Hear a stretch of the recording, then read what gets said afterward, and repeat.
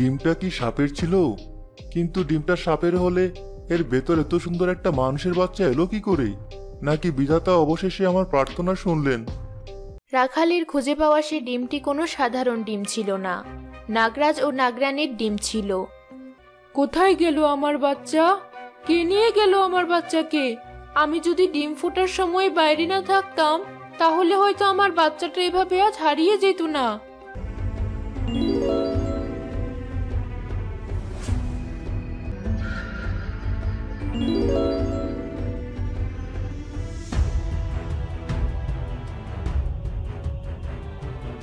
নিশি সব ঘটনা নাগরানীকে খুলে বলল। সব শুনে নাগরানী নিশিকে জড়িয়ে ধরল।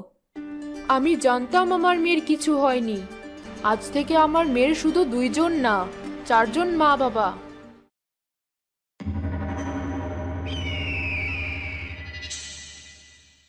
বলতে পারিস চিরিঙ্গা। পৃথিবীতে ফিরে রাজত্ব করার জন্য আর কত যোগ অপেক্ষা করতে হবে আমাদের? আর বেশি দিন অপেক্ষা করতে হবে না। আমি আমার সাধনা দ্বারা জানতে পেরেছি। নাগরানী নাগরাজের কন্যা নিশি প্রাপ্তবয়স্ক হয়ে গেছে। বলছিস কি? তাহলে তো খুব দ্রুত নাগরাজ নাগরানী পৃথিবী ত্যাগ করবে। আর নাগমণি নিশির কাছে চলে যাবে। ওই নাগমণি আমাদের আত্মসাৎ করতে হবে। তারপরেই আমরা পৃথিবীতে ফিরে যাওয়ার শক্তি পেয়ে যাব। ঠিক তাই চিলরাজ আর এই কারণেই আমি সবসময় নাগরাজ আর নাগরানীর খবর রাখছি। আমার তো রাগ হয় আদি নাগিনের উপর। সেদিন যদি আমাদের চিল শক্তি আদি নাগিনের কাছে হেরে না যেত তবে এতদিনে আমরা পুরো পৃথিবীর মানুষকে চিলে পরিণত করতে পারতাম আর মানুষদের ধ্বংস করতে পারতাম। এক শতাব্দী বছর পূর্বে চিলেরা হঠাৎ করে পরিকল্পনা করে তারা তাদের ভূতডাঙ্গর পাহাড় আর চিলরাজ্যের বাহিরেও চিলরাজ্যকে ছড়িয়ে দিবে। তাই তারা আক্রমণ করে পৃথিবীতে। আমাদের বিষাক্ত নখের ছবলে পৃথিবীর সব মানুষেরা একে একে চিলে পরিণত হবে আর আমাদের সংখ্যা আরও বেড়ে যাবে। আমি আমাদের সব সৈন্যদের বলেছি প্রস্তুত হতে। আমরা এখনই পৃথিবীতে আক্রমণ করব। আদি চিল রাজার চিরিঙ্গা সহ বাকি চিলসেনারা পৃথিবীর এক লোকালয়ে প্রবেশ করল। আর সাধারণ মানুষদের আক্রমণ করতে থাকল। এত বড় চিল পালাও পালাও সবাই! ওই দেখ চিলেরা ওদের নখ দিয়ে আচার দেওয়ার পর ওরাও চিল হয়ে গেছে।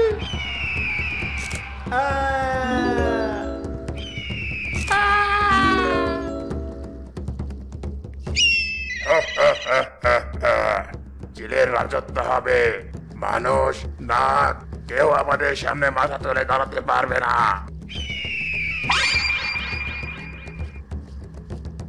যতক্ষণ পর্যন্ত আমি আছি পৃথিবীতে ততক্ষণ পর্যন্ত কেউ মানুষদের কিংবা নাগেদের কোনো ক্ষতি করতে পারবে না। হ্যাঁ তুই আমাদের কি করতে পারবি আদি নাগিন? আমরাই তোকে শেষ করব।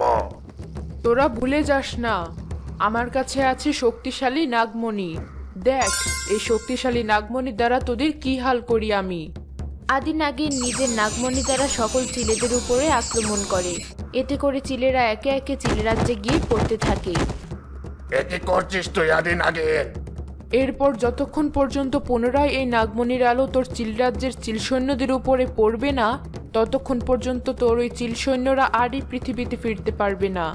এমনকি চিলের পরবর্তী বংশধরেরাও এই পৃথিবীতে ফিরতে পারবে না। আদি নাগিন তোকে আমি। চিলরাজ আদি নাগিনকে আক্রমণ করতে গেল। তখন আদি নাগিন চিলরাজকেও নাগমণি দ্বারা পৃথিবী থেকে বিতাড়িত করে দিল।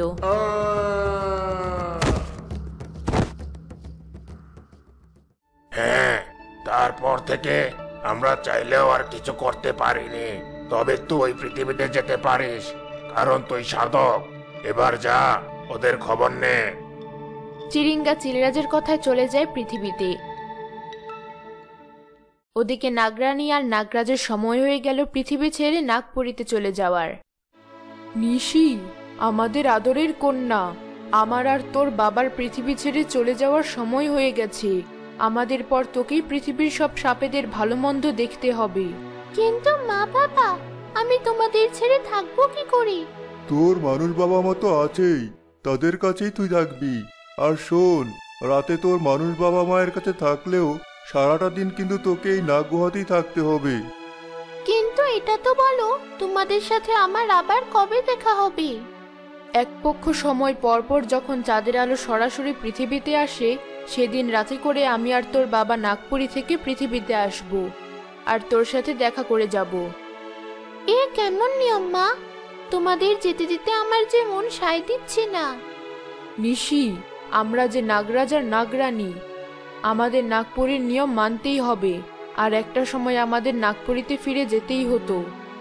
তুই আজ বুঝতে পারছিস না কিন্তু এরপর যখন তোর কোনো নাগের সাথে বিয়ে হবে আর তোর সন্তান বড় হওয়ার পরে তাকে তোর সমস্ত দায়িত্ব বুঝিয়ে দিতে হবে। এরপর তোকে তোর স্বামীসহ নাগপুরীতে ফিরতে হবে। তখন বুঝতে পারবি। নিশি অনেক কান্নাকাটি করতে থাকে। নিশিকে ছেড়ে যেতে নাগরাজ নাগরানীরও মন সায় দেয় না। কিন্তু তারপরেও নাগরাজ নাগরানীকে নাগপুরীতে চলে যেতে হয়। নিশি জঙ্গলেই বসে কাঁদতে থাকে। হঠাৎ করেই নিশির চারদিক আলোকিত হয়ে ওঠে। আর উজ্জ্বল এক রশ্মি থেকে বেরিয়ে আসে নাগমণি। এ কি? এ তো নাগমণি। এই নাগমণি তো আমি মায়ের কপালে দেখেছিলাম। ঠিক বলেছ ঋষি। আমি আগে তোমার মায়ের দায়িত্বে ছিলাম। কিন্তু এখন থেকে তুমি এই পৃথিবীর সব নাগেদের ভালো মন্দ দেখবে। তাই আমি আজ থেকে তোমার দায়িত্বে থাকব।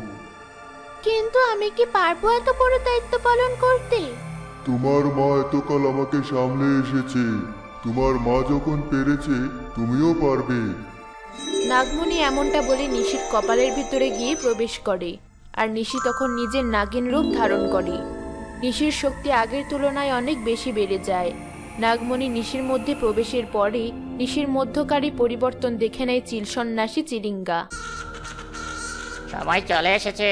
চিলরাজ আর চিলরাজ কুমারকে গিয়ে বলতে হবে, নাগিন কন্যা এখন একা। নাগিন কন্যাকে এখনই বশ করে তার নাগমণি কেড়ে নিতে হবে। চিলিঙ্গা চিলের রূপে এসে উড়ে চলে যায় চিলেদের ভয়ঙ্কর গুহা ভূত ডাঙরে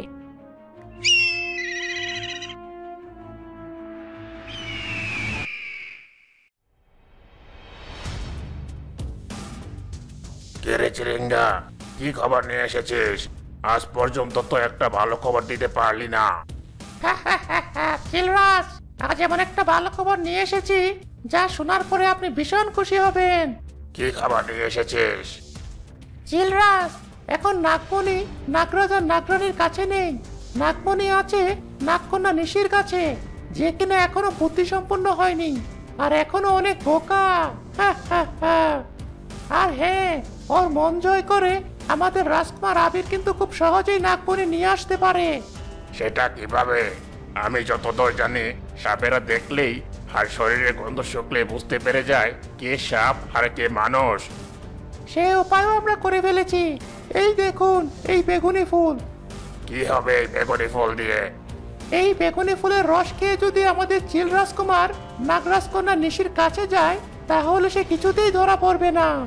বেশ আবিরকে ডেকে নিয়ে আয়। চিলরা যেমনটা বলতেই চিলরাজকুমার আবির সেখানে আসে। আমি সব শুনে নিয়েছি আমাকে কিছু বলতে হবে না। তোমরা নিশ্চিত থাকো যে তোমাদের কাজ হয়ে যাবে। পরবর্তী দিনে আবির নিশিকে অনুসরণ করে আর রাখালের ছদ্মবেশ ধারণ করে নদীর পাড়ে বসে বাঁশি বাজাতে লাগে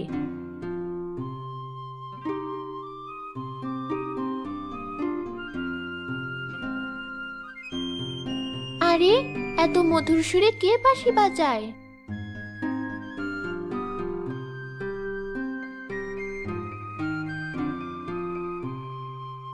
রাখাল তুমি তো বেশ সুন্দর বাঁশি বাজাও। তোমার বাঁশির সুর শুনে সত্যি আমি মুগ্ধ। সত্যি বলছেন? হ্যাঁ সত্যি বলছি। আচ্ছা আমি যদি প্রতিদিন এখানে আসি তাহলে তোমার বাঁশির সুর শুনতে পারব তো? কেন নয়? আমি নতুন পাশের গ্রামে এসেছি। এখানে বসেই প্রতিদিন বাঁশি বাজাবো ঠিক করেছি। এরপর থেকে নিশি প্রতিদিন আবিরের বাঁশি শুনতে সেখানে আসতো। এক পর্যায়ে নিশি আবিরকে পছন্দ করে ফেলে। আর সে মনে মনে ভাবে আমার তো পৃথিবীতেই ভালো লাগে। মা বলেছিল আমি যদি কোনো নাককে বিয়ে করি তবে আমাকেও একসময় নাগপুরীতে চলে যেতে হবে। আর যদি আমি মানুষকে বিয়ে করি তাহলে তো পৃথিবীতেই থেকে যেতে পারব। কি ভাবছ নিশি? না মানে বলছিলাম যে তোমার বাঁশির সুর আমি সারা জীবন শুনে যেতে চাই। তাই তোমার যদি কোনো আপত্তি না থাকে আমি তোমাকে বিয়ে করে তোমার সাথে সংসারী হতে চাই। আমার কোনো সমস্যা নেই। সত্যি বলতে কি আমারও তোমাকে প্রথম দিন থেকেই পছন্দ। কিন্তু তুমি কি জানো আমি নাগরাজ কন্যা আমি সাধারণ মানুষ নই। তাতে কি হয়েছে? তারপরেও তুমি আমার প্রিয় মানুষই থাকবে।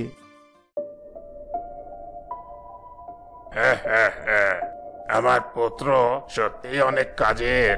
আমার পুত্রকে নিয়ে আমার অনেক গর্ব হচ্ছে। আমি বলেছিলাম না চিলরাজ? পারলে আমাদের রাজকুমারই পারবে নাগমণিকে ছিনিয়ে আনতে। দেখতে দেখতে বেশ কিছুদিন কেটে যায়। নিশি তার মানুষ বাবা মা আর নাগ বাবা মায়ের উপস্থিতিতে এবং সকলের সম্মতিতে আবিরকে বিয়ে করে। এরপর তারা সংসার করতে থাকে।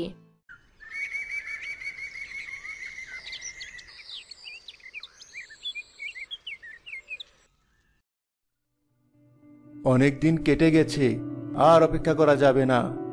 অনেক হয়েছে। এবার নিশিকে আমার সামনে নিজের নাগমণি উপস্থাপন করাতেই হবে।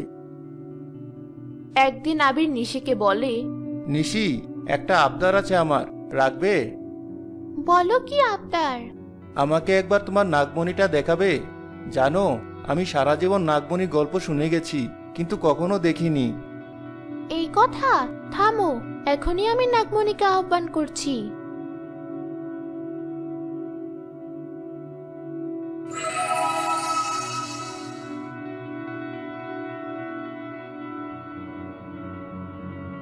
আমার হাতে একটাবার দিবে ওই নাগমণি? আমি একবার ধরে দেখব। এই নাও। আবির নিশিকে ভুলিয়ে নিশির হাত থেকে নাগমণি কেড়ে নিল। এরপর হাসতে হাসতে নিজের আসল রূপে ফিরে এলো। বোকা নাগিন দেখ আমি কে। চিল রাজকুমার আমি চিলেদের গল্প নিশ্চয়ই তুই শুনেছিস আগে? তার মানে তুমি আমাকে ধোকা দিয়েছিলে? দিয়েছিলাম ধোকা আর এবার তোকে আমি শেষ করব। আবির এমনটা বলে নিশিকে আক্রমণ করে। নিশি আবিরের নখের বিষাক্ত আছড়ে সেখানেই মারা যায় আর আবির সে নাগমণি নিয়ে চিলরাজ্যের পথে উড়াল দেয়।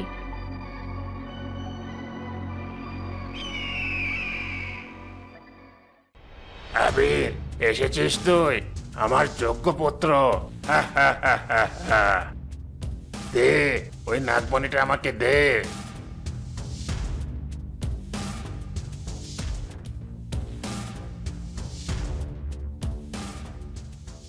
এ কি? এই নাগমণি দিয়ে কোনো উজ্জ্বল রশ্মি কেন বের হচ্ছে না?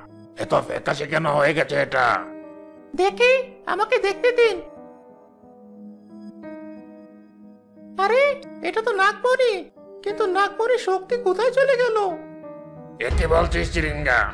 তার মানে আমি আরও একবার হেরে গেলাম? ওদিকে নিশি মৃত্যুর মুখ থেকে ফিরে আসে। আরে আমি তো এখনও বেঁচে আছি। এ কীভাবে সম্ভব? তখনই নিশির সামনে ভেসে আসে নাগমণির ছায়া। নিশি তুমি বেঁচে গেছো তোমার গর্ভের সন্তানের জন্য। তোমার গর্ভে যে সন্তান রয়েছে তার পবিত্রতায় তুমি প্রাণ ফিরে পেয়েছ। আর নাগমণির শক্তি চলে গেছে তোমার গর্ভের সন্তানের মধ্যে। তার মানে চিলিরাজ দ্বিতীয় বিধাতার সুবিচারের কাছে হেরে গেল? ওদিকে জিতে যাওয়া, লড়াই হেরে যাওয়ায় সে হার সহ্য করতে না পেরে চিলিরাজ নিজের প্রাণ ত্যাগ করে। না, বাবা! নাগেরা, তোরা আমার বাবাকে আমার থেকে কেড়ে নিয়েছিস। নিশি, আমি প্রতিজ্ঞা করছি, তোমাদের ওই নাগরাজকে ধ্বংস করা না অব্দি আমি থামবো না।